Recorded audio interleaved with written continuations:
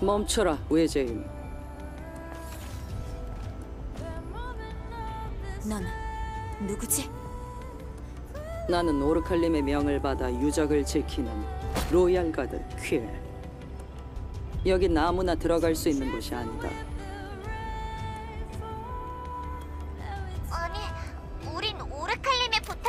여기 온 거라고요. 그렇다 해도 자격이 없는 자를 들여보낼 순 없다. 자격. 그래, 나를 쓰러뜨린다면 들여보내주도록 하지. 어쩔 수 없구나.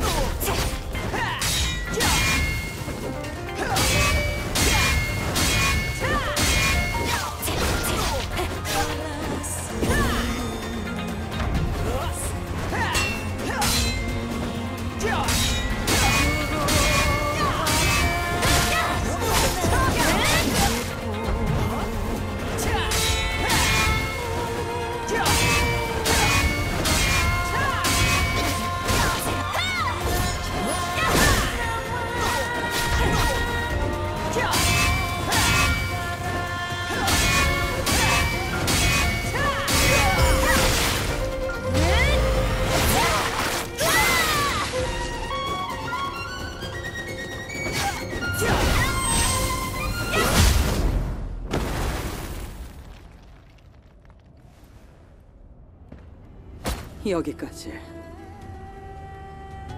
알파 네이티브를 처치한 실력을 과소평가했던 것 같고 너와 겨룰 수 있어 영광이었다. 이제 들어가도 되겠지? 그렇다. 알테스 레보아는 오래전부터 네이티브의 침식이 진행되어 왔다. 지금껏 살아서 돌아온 사람은 없어. 하지만 너라면 기대를 걸어보마.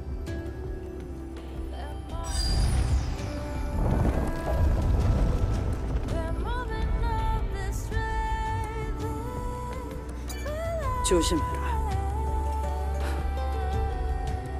다시 한번 시험을 보길 원하나?